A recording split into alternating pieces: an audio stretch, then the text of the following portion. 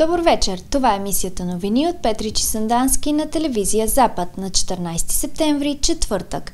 Ето и какво ще видите днес. Напълно готови са училищните бази в община Сандански за утрешният първи учебен ден. Приключи работата по ремонта на отклоненията от водопровода на част от улица в село Марикостиново. Православната църква отбелязва днес празника Кръстов ден. Ден на отворените врати на Народно читалище Отец Паиси в град Сандански утре.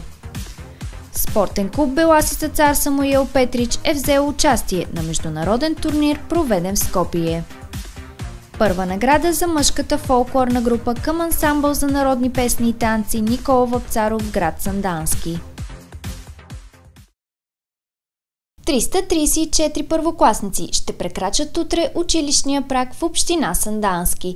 Напълно готови са и училищните бази, а ремонтните дейности, извършвани през летния сезон в тях, вече са приключили. Ето и репортажът ни по темата. Всички училища в община Сандански са готови да посрещнат своите ученици в утрешния първи учебен ден. Това каза пред нас заместник мед Павлина Караджова във връзка с приема на първокласниците и ремонтните дейности в училищата. Ето и още.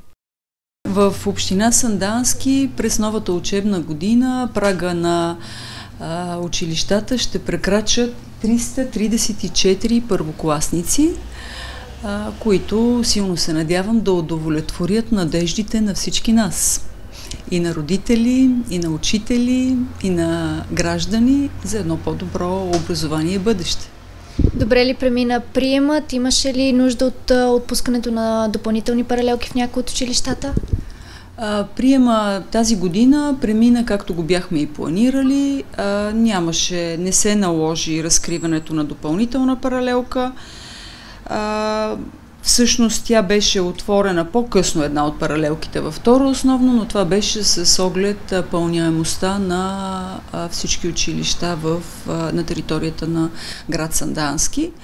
Заложили я бяхме като бройка тази паралелка, просто искахме, за да се спази добре районирането, да изчакаме да видим дали има всъщност присъствие на деца в града и, и за да може естествено да не се а, случва така, че децата от по-малките населени места, където имаме училища да преминават в града, задържахме малко едната паралелка, но тя беше а, първоначално планираната си бъде е, такава като бройка.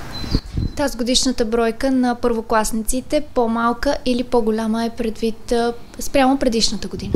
За съжаление, в, не само в община Сандански, в цялата страна, доколкото имаме информация, тенденцията е да намалява броя на децата, не само в първи клас.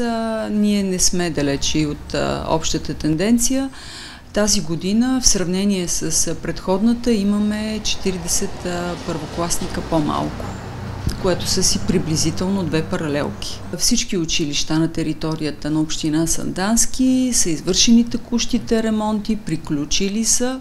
Нали, въпреки късното приемане на бюджета тази година, училищата се справиха чудесно с всичко, което бяха планирали. Включително имаме и нови придобивки, и в спортно училище имаме така сериозни подобрения, напълно нов изграден компютърен кабинет имаме за обучаващите се в спортното училище нова спортна площадка ще открием утре в а, гимназия Яне Сандански, второ основно училище, на която, в която съответно учениците от двете училища, както и а, децата от а, община Сандански ще могат да се възползват и да практикуват любимия си спорт. Така че в трето основно училище има също така сериозни подобрения и изключително горда съм, че успяхме да въведеме в най-голямото училище, основно училище на територията на община Сандански, да въведеме униформи. Сигурна съм, че утре първия учебен ден в трето основно училище ще бъде прекрасен, защото всеки един ученик ще бъде с символите и с униформата на училището. И всъщност така мога да ви говоря за всяко едно от училищата, но съм сигурна, че а, нека да оставим нещата да, т.е. деня утре да бъде пъстър сам по себе си и да изненадаме и учениците, и родителите. Заместник мед Павлина Караджова коментира пред нас и приеман в детските градини. Мога да кажа, че групите са ни а, над утвърдения от стандарта брой, а, но пък а, имаме условия и в които ако продължават а, да идват деца в а, задължителната възраст, имаме условия да отвориме и, т.е. имаме места и условия да отвориме и допълнителна група. Силно се надявам. Така, извършили сме и там текущите ремонти, всички подобрения, които са били заложени в рамките на двете седмици, които почиваха детските градини през август, бяха точно за това да се направи дезинфекция, освежаване, почистване на помещенията за децата, така че в детските градини ние стартирахме там 1 септември по етапно приемане, нещата са в пълна готовност също преди полагане на асфалтовата настилка. Бяха сменени водопроводните отклонения по част от улица Марица в село Марикостиново, която е околовръстна и една от най-дългите. Сега не трябва да има проблеми, продиктувани от товари. Принципно водопроводът на селото е подменен цялостно преди години, припомни кметът Гергана Тодорова. Приключи работата по ремонта на отклоненията от водопровода на част от улица Марица в село Марикостиново към къщите. Това се е наложило извън предвидената работа по асфалтиране на малко над 380 метра от улицата, защото въпросните отклонения започват да аварират. Проблемите тръгват именно тогава и с водоснабдяването и с работата по новата настилка. В Марикосно целият вътрешен водопровод е подменен преди 10 години, но за, но за съжаление, специално когато започнахме сега да работим по улица Марица, да подготвяме за асфалтиране, се оказа, че всички връзки, които са към къщи, които водят, са с некачествено изпълнение и се наложи абсолютно всички да бъдат подменени. Този процес сега приключи ли? Приключи в момента вече сме на довършителен етап и сме преди асфалтиране. Колко метра е самата улица и тя е включена в капиталовия списък. Ако не беше включен, т.е. нямаше да се разбере, че това е проблема, така ли? Със сигурност да, ако не бяхме започнали тази подготовка за асфалтиране, нямаше да разберем. В смисъл, ние имаме постоянно аварии, въпреки че водопровода, пак казвам, той е на 10 години, имаме доста аварии заради некачественото изпълнение, но сега всичко е отстранено. Улицата е част от улица Марица, тя е около 390 метра, които ще се, която ще се асфалтират. Значи подмяна на бордюри, където са компрометирани, абсолютно всичко наново се преработи, изправиха се, съобразили сме всичко с хората, които, ще имат, които имат гаражи, които ще имат входове към къщите, да бъде така, както те желаят.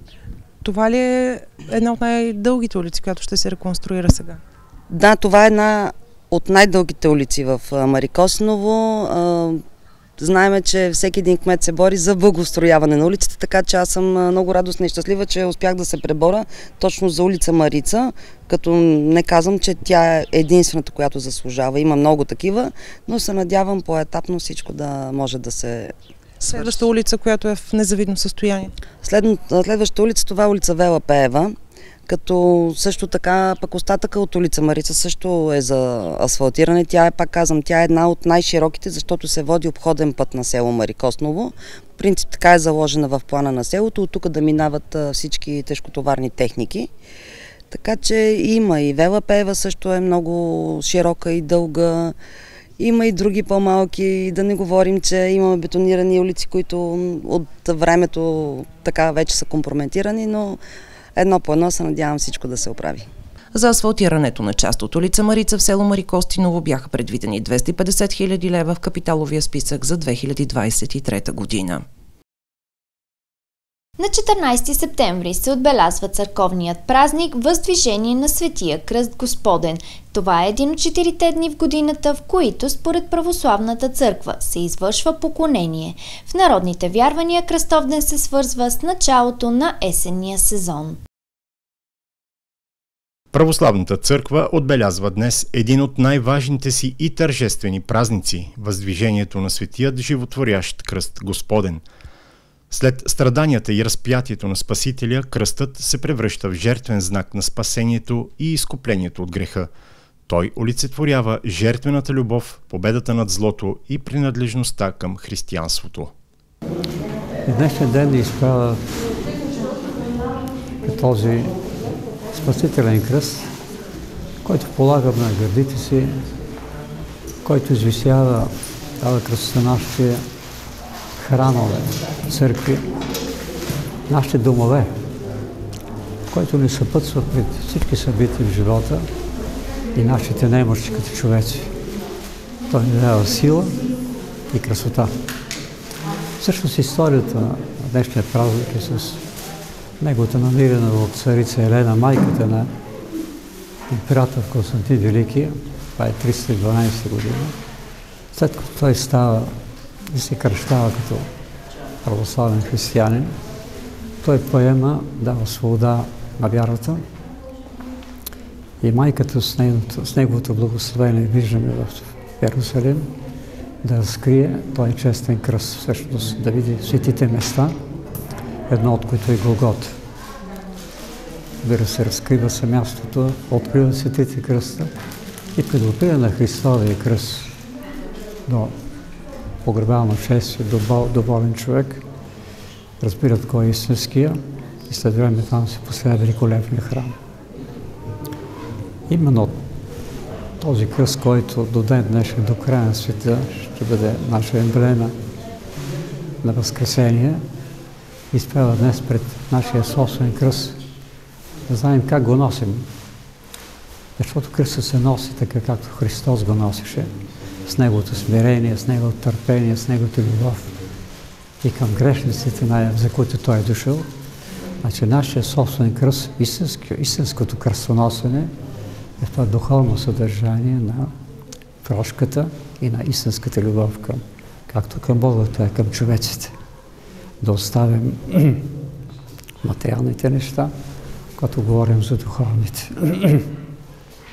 Аз пожелавам на всички, които носят красивото име, кръстанки и кръстовци, да го носят това име за достоинство, да красуват всичко около себе си, както Бог да даде прозрение на управниците на народите, да има мир по земята, както в нашата държава с изпитанието да настъпи на краката си, но с вярата, която носим, тя е отеческа вяра, тя е вяра в нашата православна история, дадем пример с достоинството на търпението, смирението и жертвената любов на Христовия кръст, след което истинско кръстоносене винаги има възкресение. Да възкресим себе си и живота с а, вярата.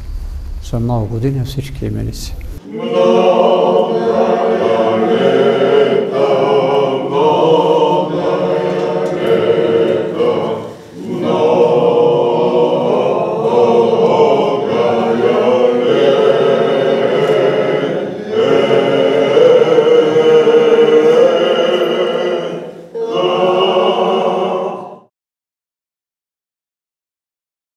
отворените врати на Народно читалище Отец Паиси 1919 град Сандански утре.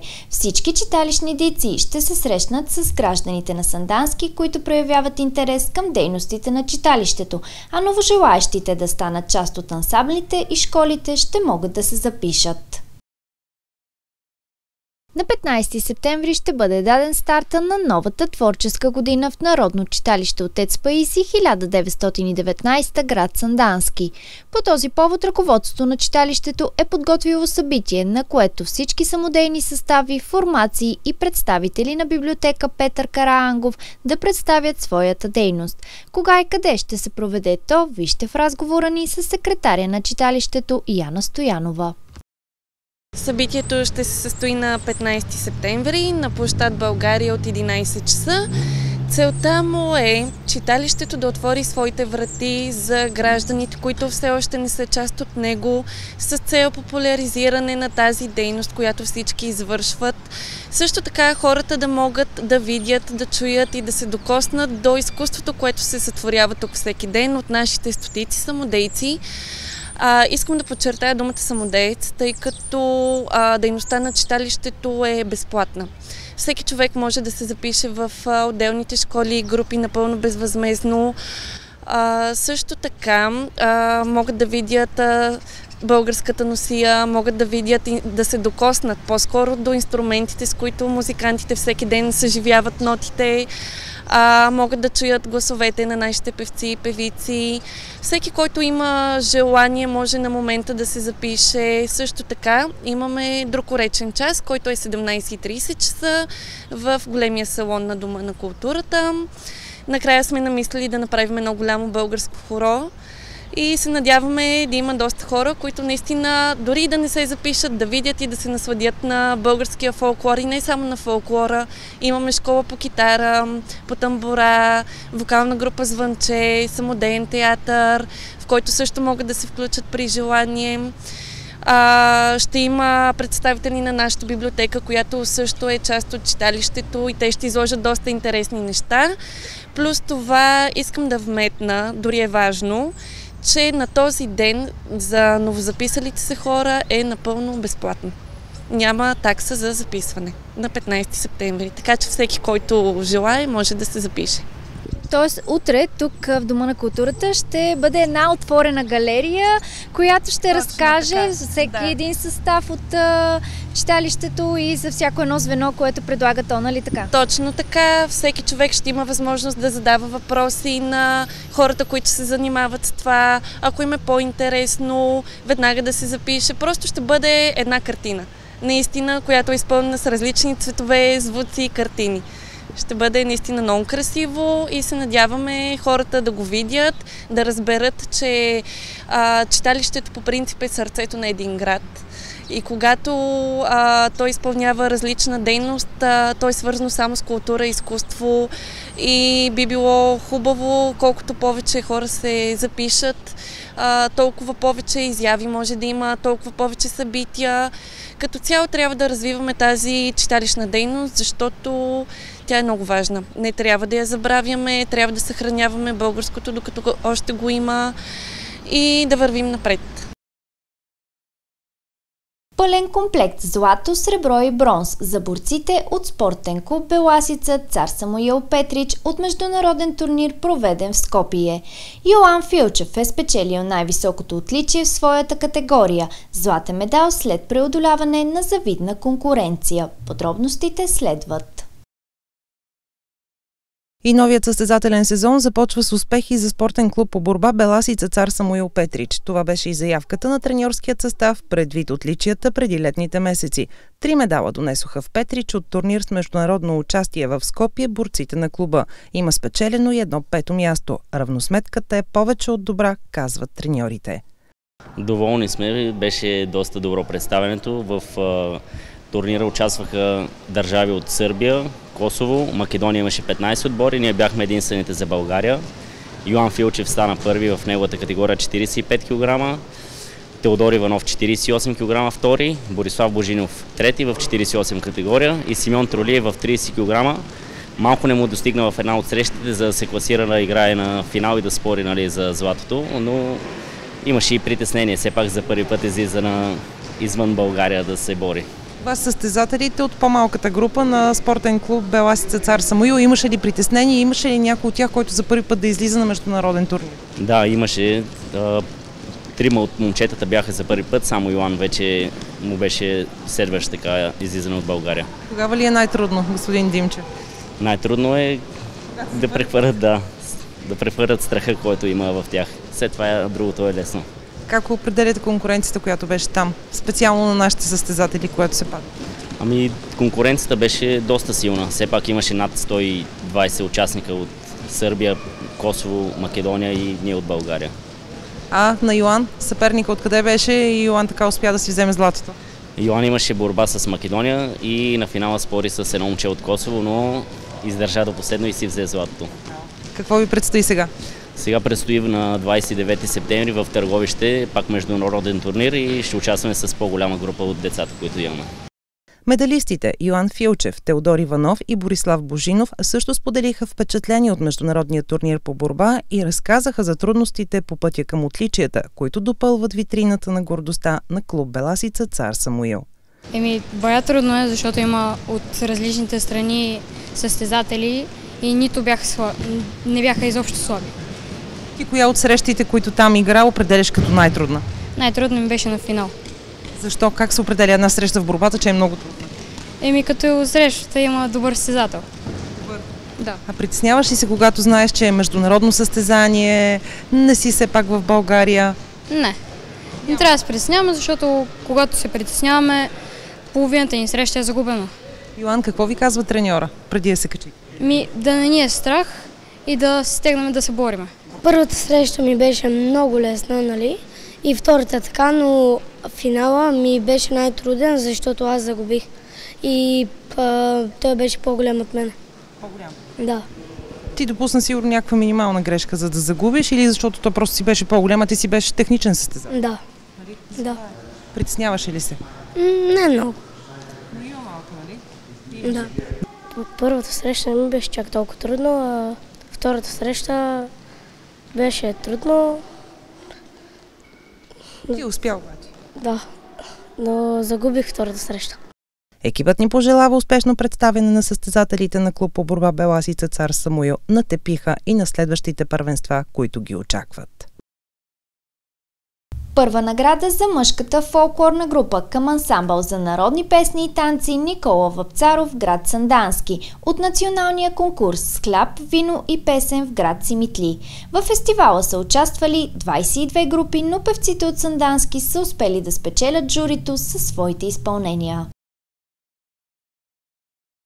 Мъжката фолклорна група към ансамбъл за народни песни и танци Никола Вапцаров град Сандански е получила престижно отличие за участието си в фолклорния фестивал с хляб, вино и песен 2023 в град Симитли. Повече за участието пред нас разказа ръководителя им Васил Серезлиев.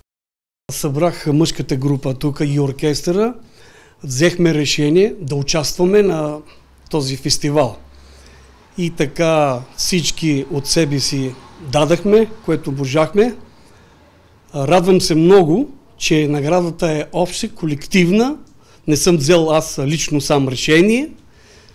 Благодарение на оркестъра и на мъжката група спечелихме първо място, което се много съм радостен и щастлив за първи път, на 72 години, аз да получа такава награда. Не само за себе си, за... става въпрос за мъжката група. Какъв беше а, конкурсът, в който взехте участие? Фестивал по-скоро. И фестивала е, той е на национален, в, в трети, трети национален фестивал. От цяла България имаше участници. така и интересно беше.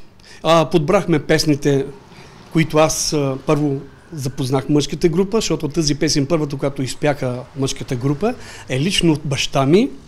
Тя е автентична песента, не е слушана, за първи път се слуша. И втората е една популярна песен, която тук в нашия регион, пак е интересна за цяла България. Погреши Мома Павлина.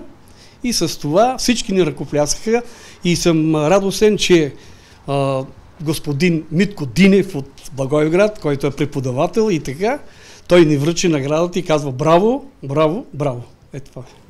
С колко души участвахте вие като... Ние в оркестъра ни беше 7 човека и мъжка група 6 човека. Това е, което мога да кажа. Но аз съм вече на възраст, радвам се, че имам вече достоен заместник Георги Иванов. А, от мъжката група имаме едно младо момченце, се казва Владимир Богоев. Това са попълнения, но това за жалост искам да споделя и това, че има няма вече такива младежи, които да, да, да, се привли, да, да, ги привлечеме към мъжката група. Уби, не знам, вината може би и в нас, може би и у ръководството на читалището, за да привлечеме такива млади изпълнители и любители на фолклорното, на мъжкото фолклорно пеене.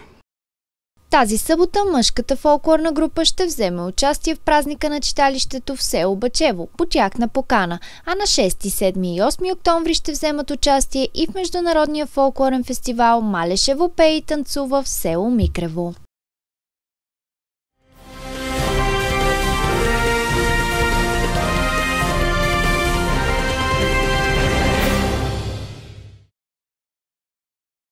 Ето и какво ще бъде времето в следващите дни.